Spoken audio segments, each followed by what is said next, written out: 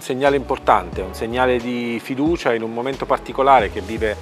ovviamente la nostra città, eh, tutto il nostro, il nostro paese, un momento nel quale dobbiamo lanciare appunto un segnale di speranza, di fiducia, di convinzione in una ripartenza che non sarà facile ma che comunque sarà certamente possibile, stiamo costruendo assolutamente le basi perché ciò possa avvenire, dobbiamo farlo tutti insieme, questo è un segnale importante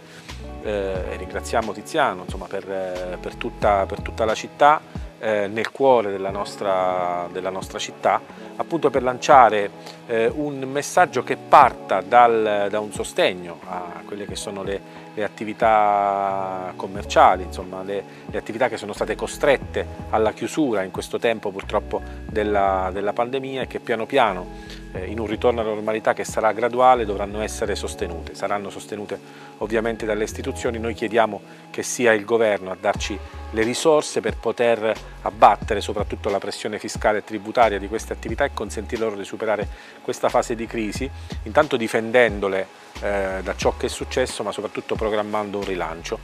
Un invito a tutti, siamo italiani, siamo, siamo forti, non molliamo,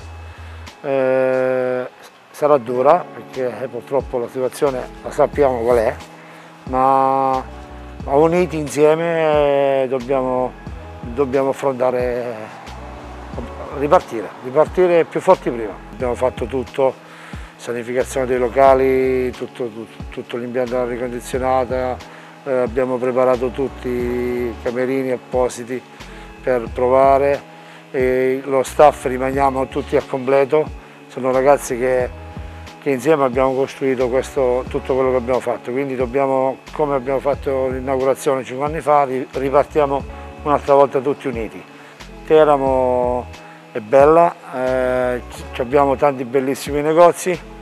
e dobbiamo ripartire uniti più forti e più forti di prima. Sono, con, sono convinto che ce la facciamo.